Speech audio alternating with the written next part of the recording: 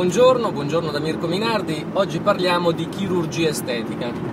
E ieri ho letto una sentenza molto interessante del Tribunale di Roma. Classico caso di mastoplastica addittiva in un caso di ipoplasia, cioè seno piccolo e quindi intervento per aumentare le dimensioni. La ragazza si sottopone a un primo intervento di chirurgia eh, venuto decisamente male, rifà un secondo intervento sempre con eh, lo stesso medico e questa volta riesce un po' meglio, ma il risultato è comunque insoddisfacente. E quindi conviene in giudizio il medico per sentire dichiarare la responsabilità e eh, sentire risarcire i danni non patrimoniali. Molto interessante la sentenza del Tribunale di Roma, peraltro che reca la firma di Marco Rossetti, oggi eh, non è più in forza al Tribunale di Roma ma al massimario della Cassazione, ma indubbiamente una delle menti più brillanti eh, che abbiamo in Italia dal punto di vista giuridico ovviamente. Allora, inizia la, la sentenza ad affrontare tutti i, i vari passaggi. Anzitutto è provato che c'è il danno estetico e questo non c'era bisogno neanche della CTU perché lo stesso, lo stesso magistrato se ne accorge guardando le eh, fotografie perché i seni sono asimmetrici, hanno forma diversa, posizione diversa e quindi l'intervento è manifestamente mal riuscito.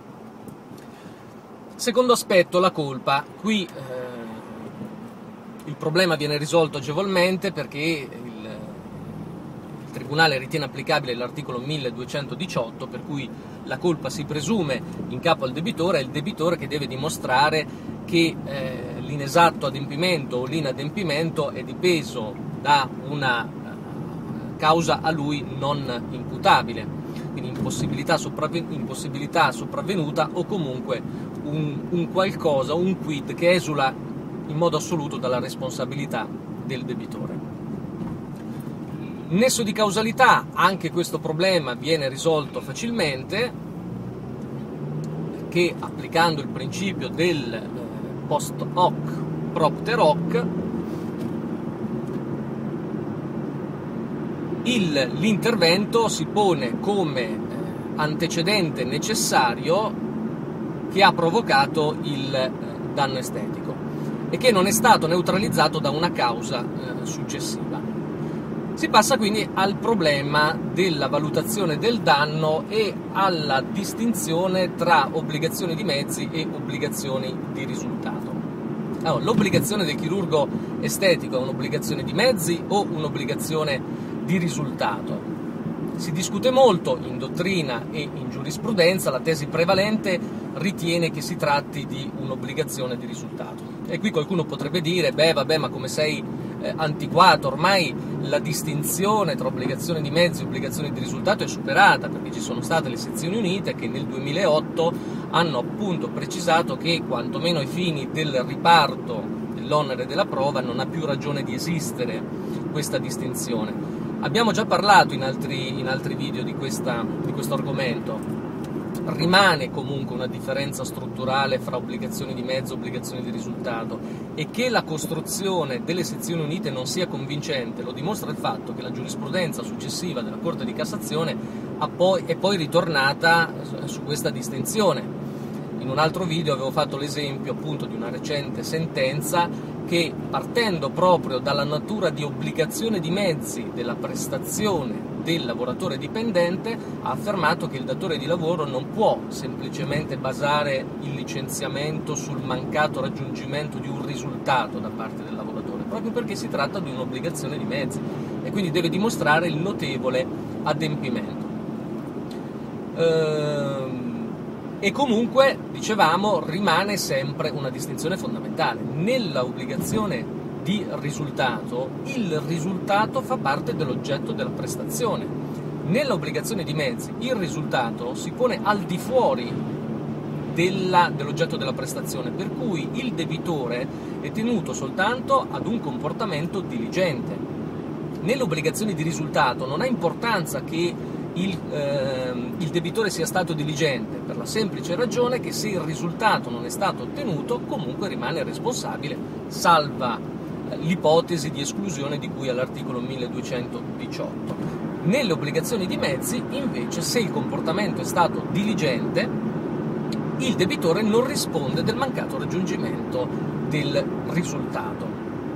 E quindi, quantomeno in punto di allegazione dei fatti, rimane una differenza fondamentale, perché se io convengo ad esempio in giudizio, questo è un esempio che faccio sempre, l'appaltatore perché ha costruito una casa e poi la casa è crollata, io posso limitarmi semplicemente ad allegare e provare l'esistenza del contratto e poi il crollo della casa. Non ho bisogno di dimostrare, di allegare per quale ragione la casa è crollata, spetta all'appaltatore dimostrare che il crollo della casa è dipeso da, da qualcosa, da una forza esterna che non può essere imputata a lui.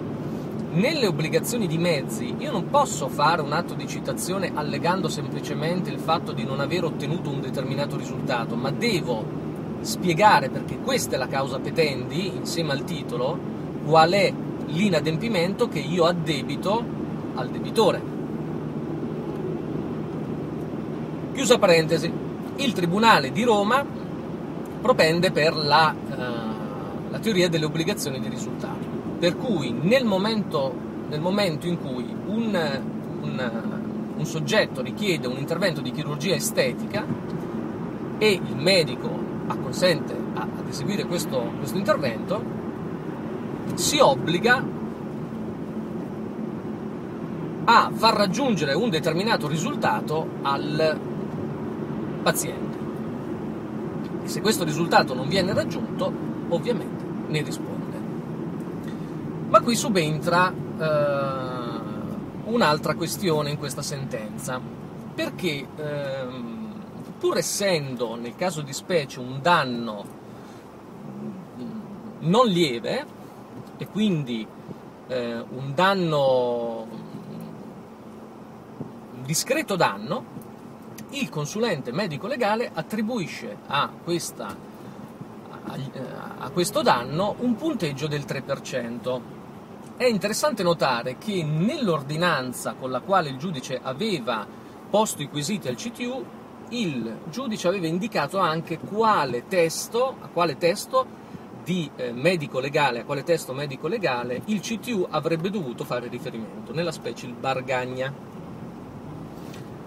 Questo è importante, riapro una parentesi, perché eh, esistono vari testi di medicina legale e non tutti gli autori, non tutti i medici legali che hanno scritto questi testi, concordano sulla valutazione dei danni e ci possono essere delle differenze anche molto importanti. Chiusa parentesi. Quindi eh, il Tribunale di Roma, sempre nella persona del dottor Rossetti, che tra l'altro eh, al tema della CTU ha dedicato, ha dedicato un libro, molti articoli, quindi tema che eh, conosce molto bene, dice al CTU fai questa valutazione del danno ma tieniti a questo, a questo testo per calcolare il punteggio. E il CTU accerta il danno e eh, stabilisce un'invalidità permanente del 3%. Siccome il dottor Rossetti non è uno di quei magistrati che legge soltanto l'ultima pagina della consulenza medico-legale, si rende conto che questo punteggio è assolutamente insufficiente perché non si era di fronte ad un danno, eh, ad un danno lieve, ad un danno moderato, ma era un danno eh, consistente. E allora fa questo ragionamento, ma è possibile che il CTU abbia tenuto in considerazione il fatto che la situazione preesistente